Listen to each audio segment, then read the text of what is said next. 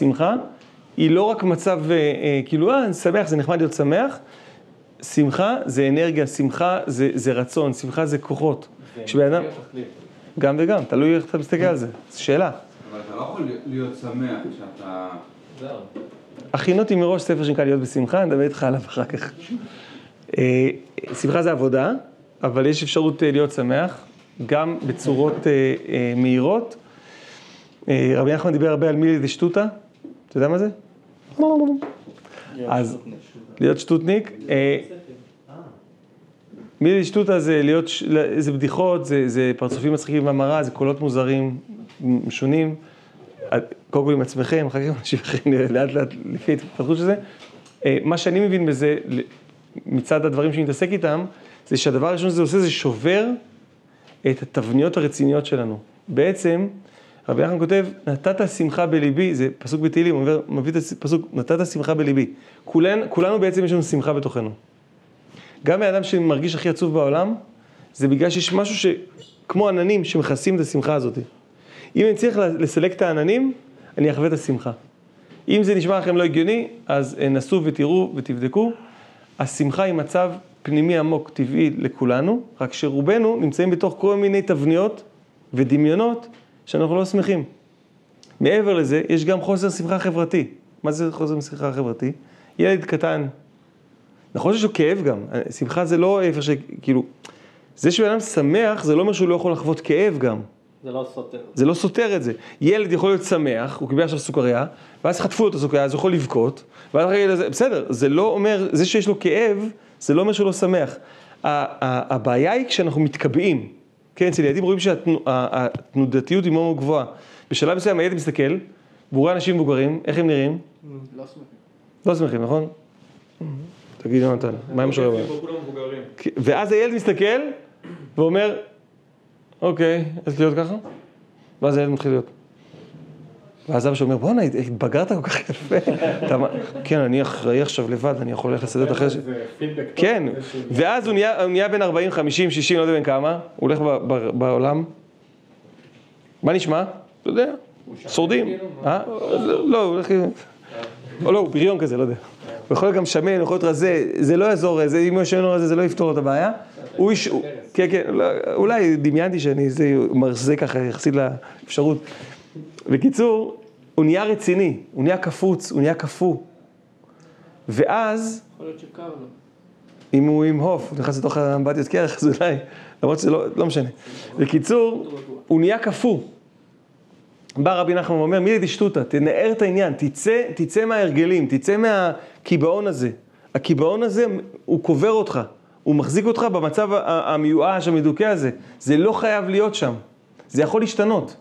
נכון שגם כשזה ישתנה, אז ההרגל שלך אה, יחזיר אותך כאילו אתה תעלה, אה, תראה, בסדר, זה, זה עבודה, זה כמו טרמפולינה, כזה טק טק קופצים וזה איזושהי עבודה, אני לא אומר שבבת אחת בן אדם משתנה לגמרי, אבל קודם כל בבת אחת כן בן אדם יכול לצאת מרגש של דיכאון או עצות, הוא כן יכול לצאת לשמחה. אה, אם הזכרתי, כבר, אני- אה, הכין אותי מראש, אמרתי לך קודם. זה לא התמכרות כל הזמן לנסות לחתור? זה הפוך, יש לך התמכרות לדיכאון, זה הפוך בדיוק.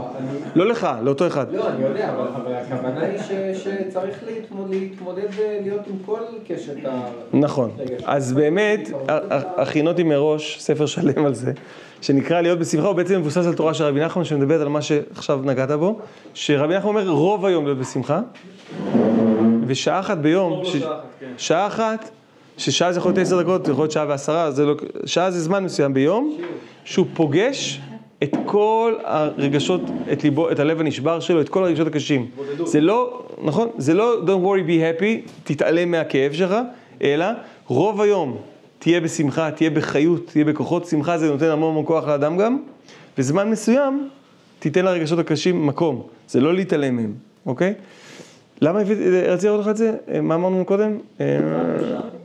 אה, אה? אליי או אליו? אני לא יודע, אני מדבר לשם, אני משדר לשם. הכדור... מה רצית? אה, אוקיי, אז נדבר על זה אחר כך. אדם השמחה זה- זה עוגן. כן. אני חושב שזה נגזרת של כמה דברים. זה גם נכון, תגיד. אתה צודק. אמרנו, נשימה, שמחה, הודיה, אה, חזרה לרגע הזה, אמונה, כל הדברים האלה הם דברים פנימיים בתוכי שאני יכול להשתמש ויכול להתחבר אליהם. רגע, יונתן יש לו איזה דוגמה או שאלה. יכול להתחבר אליהם כדי, כדי להיות יציב בתוך החיים שלי, מבחינה רגשית ונפשית, כן. לא, אני פשוט רואה את השמחה לא כעוגן, כי זה מה שאתה רוצה להיות בו, בטח, אבל כנגזרת של דברים שאתה עושה כמעוגנים, בשביל להגיע לשמחה. זה, זה, הם שניהם נכונים. אז זה תכלית עבורך. לא לא. הם, יש, יש, יש הסתכלות כזאתי, ששמחה היא תוצאה של דברים אחרים, ויש אה, עבודה עם שמחה ישירות. יש גם וגם. זה כל אחד צריך לבחור את הדברים שלו. למה סיפרתי לך, אה, נזכרתי למה הוצאתי את זה. בא אליי איזה מישהו, ואמר לי שהוא רוצה להיפגש איתי, טוב, הגיע להיפגש, כן, מה זה, אשתו לא עלינו, נפטרה מהמחלה, ולפני שהיא נפטרה, היא קנתה כמה ספרים, אה, היו לה בארון, והוא יצא לאיזה חופשה שהוא הבטיח לה, זה אפשר, מסתבר שאפשר לשלוט בבעלך גם אחרי המוות, הבטיח לה שהוא ילך לאיזה חופשה, הוא קנה איתה בזה מראש, וגם אם היא חס ושלום תיפטר מהעולם, הוא חייב ללכת לשם. חוף דור שבוע. הוא אומר, אני, מה אני, זה בן 60 אה, לבד, אשתי נפטרה, הילדים שלי גדולים, אני עומד שם בחוף דור, מסתכל על הדגים, לא מה, על, ה- על המים, ואז הוא חזר מהר הביתה, שלף שני, שני ספרים מהזה, אחד מהם זה היה להיות בשמחה, והתחיל לקרוא אותו. עכשיו הוא אמר שהוא במשך כמה חודשים הולך לטיפול פסיכולוגי, והוא אומר לפסיכולוג הקליני שלו, מתי אני אהיה שמח? אז הוא אומר לאט לאט, תפרק את הדברים, תוציא את מה שיש לך על הלב, ובסוף אתה תהיה שמח. טוב, בסוף הקורס. ואז הוא, הוא לקח את להיות בשמחה, התחיל לקרוא בו, מתקשר לבת שלו, הוא אומר, אני לא מבין מה עובר עליי. אני שמח היום. עכשיו הוא אומר לה, תקשיבי, מחר כנראה שאני לא אהיה שמח, אני כבר מכיר את עצמי. אבל לפחות עכשיו, אני, אני סוף סוף אני קורא את הספר הזה, אני לא יודע, אני נהיה שמח. אמרתי לו, ומה קרה מאז? הוא אמר לי, עברו שלושה שבועות, ואני שמח. ואני שמח, אני קורא עוד, וזה, אני, מכל מיני, יש פה כל מיני כלים, כל מיני עצות של רבי נחמן, איך להיות שמח, אז, אז הנה הוא למשל, יישם את זה ישר, הפסיכולוג חיכה שזה יגיע כתוצאה, זה גם חשוב, אני לא מתעלם מזה.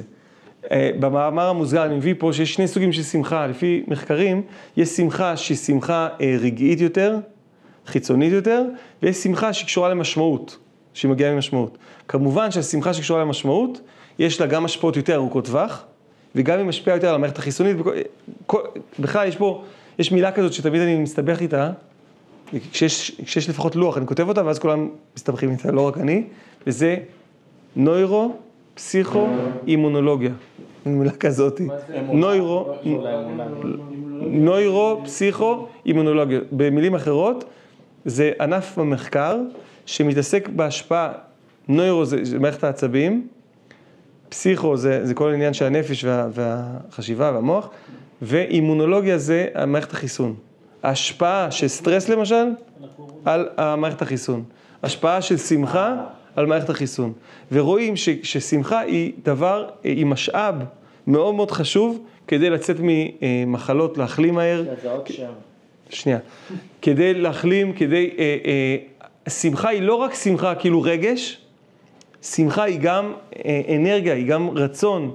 כשאתה מבקש עכשיו ממישהו, אה, אתה יכול להביא לי כוס מים? והוא מסתכל עליך ואומר לך, אני אביא לך כוס מים. הולך, מביא לך את הכוס מים. לעומתו, אתה, אתה מבקש ממישהו אחר, אתה יכול להביא כוס מים, והוא אומר לך, כן, בטח, הולך, מביא לך את הכוס מים. מי מהם, מי מהם יש בו רצון פעיל? כוס מים שתהיה יותר טעימה. היא גם יותר טעימה, מה? מספר שתיים, יש יותר רצון שם. אותו דבר, עם מי היית מעדיף עכשיו לעבוד? אתה עכשיו צריך לעשות שותפות עם מישהו, או לעבוד עם איזה ספק חדש, מי היית מעדיף שמישהו אומר לך?